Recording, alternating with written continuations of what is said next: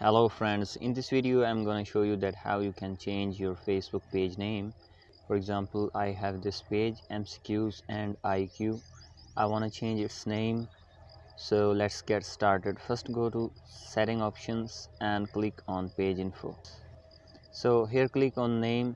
As you click this option you see an error like this. The page you requested cannot be displayed right now so we will learn how to deal with this problem in Android.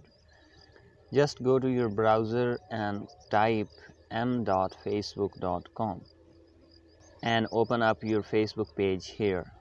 So here we have opened our Facebook page in browser Chrome browser. Go to more and click on edit page. Here click on page info and set it to open with Chrome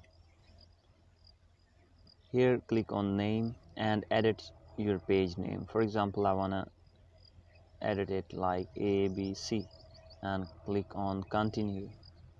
So here click on request change. Okay? So now we go to the app and see what happens with our page. So you can see a notification your request to change your page name has been approved.